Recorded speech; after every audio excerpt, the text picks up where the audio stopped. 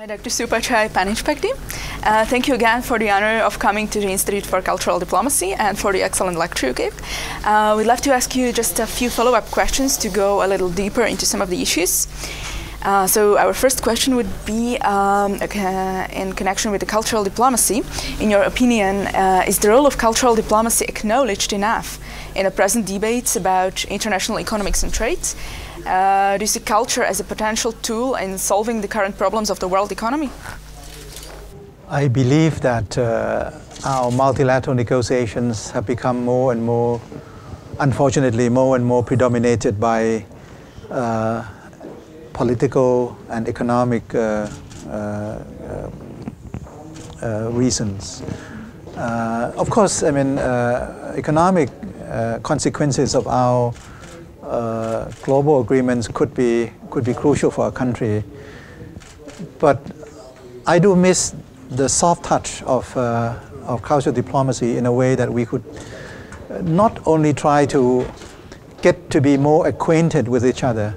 See, because negotiations uh, sometimes get to be quite acrimonious and rough because you don't, you don't take time to get to know each other. I think if we can soften up international negotiation by some forms of cultural diplomacy, getting to know and understand each other, to be friends, to be speaking the same language, not definitely the same language, but of course in having common understanding of certain issues, I do believe that we would be able to uh, to facilitate uh, uh, more complicated uh, negotiation in the future. I do see in certain areas with concrete application of culture as part of the solutions of our uh, global integration efforts, like in the concept of having the revival of the, of the Silk Road that I discussed in my, in my lecture. Uh, we work with cities along the Silk Roads, ranging from Korea to China to Kazakhstan, Uzbekistan, uh, into Europe, uh, Eastern Europe, uh, so that we can reconstitute the, the, the facilities with which travelers in the old days, thousands of years ago, can make use of so that they can, they can ply their ways or they can facilitate the travels of tourists or they can uh, uh, uh, be committed to certain creative economies like entertainment so that people can become closer. And this is one certain concrete area that culture could be part of the international integration scene. Okay. Okay, then uh, the second question, you already talked a little bit about it uh, during your speech above, uh, about the European financial crisis. How do you think European countries could overcome this crisis, in, in your view? and um, how they, uh, what kind of strategy should they imply uh, to move again to towards economic growth? I, I, uh, I do not pretend to uh, be more knowledgeable than uh, the European colleagues, but uh, I, I, have my own uh, set of recommendations that I have been uh, uh, trying to, to relay to uh, European colleagues so that we can have uh, uh, some kind of discussion. The first one is more tactical. The first one is about macroeconomic policies. I really believe, together with my colleagues at UNCTAD, that at the moment the time is not ripe for for, for pure austerity measures. Why? Because we have not yet fully recovered, and this is, I think this is a miss uh, diagnosis of the situation at the moment. I think it's a misdiagnosis to be saying that we have come out of the, the crisis. We have not come out of the crisis. We still have a lot of debt overhang. We are still in the process of debt unwinding. And in this process of debt unwinding, you cannot, you cannot uh, uh, have restrictive policies on the economy to shrink the economy. At the time that uh, we have debt unwinding, government should be spending because private sector is not yet spending. When the, when the private sector starts to spend, you would see unemployment being reduced, uh, more employment, then government hold back in the, in the, in the expenditure. But what happens now, I said it's tactical thing because at the moment, consumers, businesses are not spending. So in Europe, government must spend, even if they have to borrow. So this is my first thing. So macroeconomic policy will have to be well diagnosed and, and diagnosed in a way that we are fighting demand deflation and we are not fighting uh, the excessive burden. That will have to be fought uh, sometime after uh, people begin uh, to, to spend again. The second is institutional. I, I do believe that uh, European integration is an unfinished uh, agenda. Uh, in order to have a European Union with single currency system, you need two more things or three more things to do. The first one is you need the, uh, the like I said this morning, the fiscal union.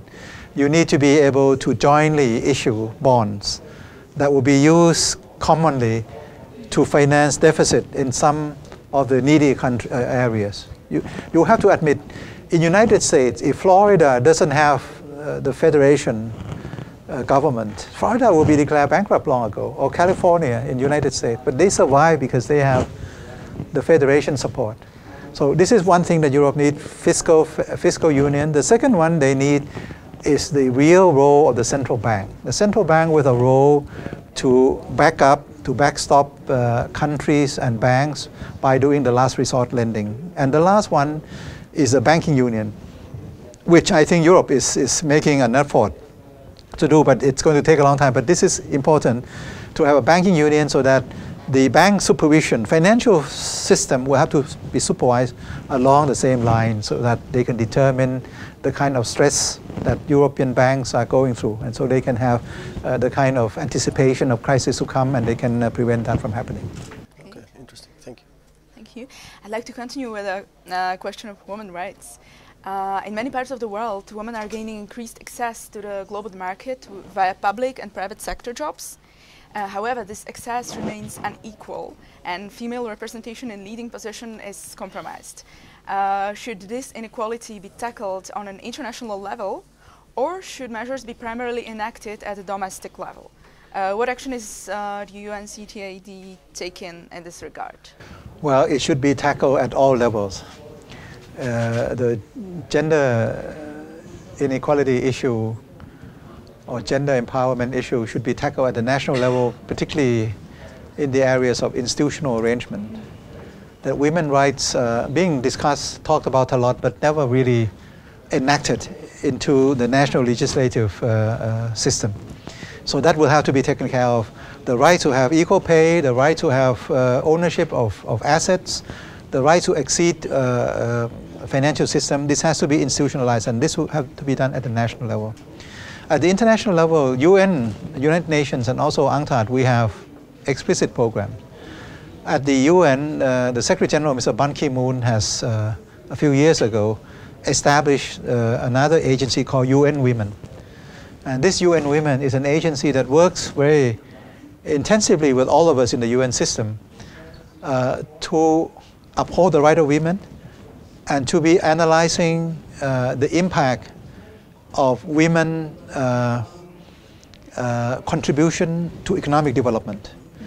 I would cite you one area, in the areas of farm development, agriculture development. If you don't give extension services, particularly concentrating on women participation, you will miss out on a major source of input uh, for agriculture because women provides a very strong and consistent and productive input into the farming sector. And if they are left out of the extension service education system, left out of finance, left out of technology, then you, can, you, cannot, you cannot really develop farms. So this is what we are working on together with UN Women uh, uh, to be able to really empower women, not to be just talking about why should women be employed, but we're talking about what should be done on the ground to, uh, to help women. Like said, uh, thank you very much for your time. Dr. Supachai, uh, it was an honor and privilege to have you we're here with us today. Thank and you very much. Thank, thank you you very much. Thank you. Thank you. Thank you. Thank you. Thank you.